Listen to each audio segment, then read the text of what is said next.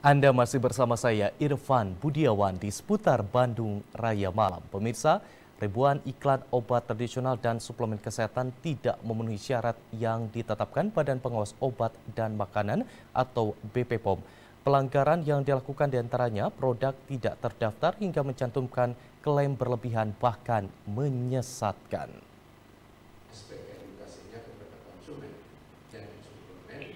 Menurut Deputi Bidang Pengawasan Obat Tradisional, Suplemen Kesehatan dan Kosmetik, Maya Gustina, saat ini setidaknya 3.350 dari 6.308 iklan obat tradisional di Indonesia tidak memenuhi syarat yang ditetapkan Badan Pengawasan Obat dan Makanan. Tidak hanya itu, 34 persen iklan suplemen makanan pun tidak memenuhi syarat yang ditetapkan Badan Pengawasan Obat dan Makanan.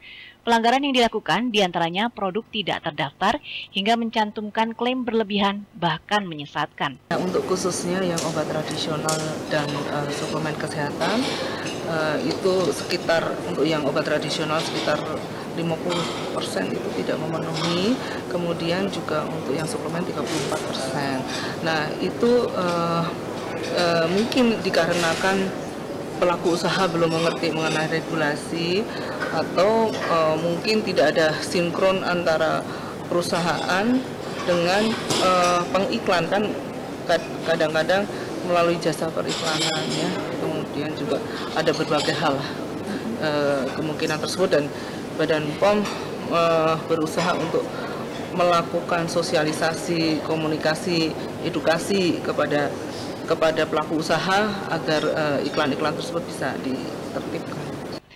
Pelanggaran yang dilakukan tersebut tentunya dapat merugikan masyarakat sebagai konsumen. Menyikapinya, Balai Besar POM di Bandung bekerjasama dengan KPID Jawa Barat untuk penguatan pengawasan iklan. Menurut Ketua KPID Jawa Barat, Dede Fardia, pihaknya sudah memberikan peringatan kepada beberapa media elektronik terkait penayangan iklan obat tradisional yang melanggar aturan. Namun hingga saat ini belum ada iklan yang dihentikan penayangannya.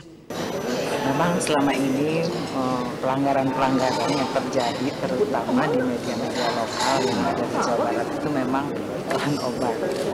Iklan obat baik itu dalam hal penempatannya yang seharusnya kebanyakan katakanlah misalnya iklan obat tradisional, iklan obat tradisional untuk orang dewasa kebanyakan dengan pelarangan-pelarangan itu pelanggaran-pelanggaran itu yang harusnya untuk orang dewasa uh, sering kali jamnya pada jam gencar pada jam anak atau jam remaja padahal itu seharusnya di atas jam 10 malam.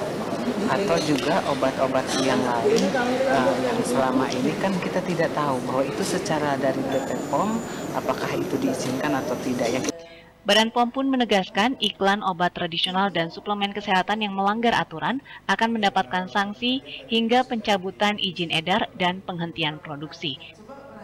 Budi Hartati,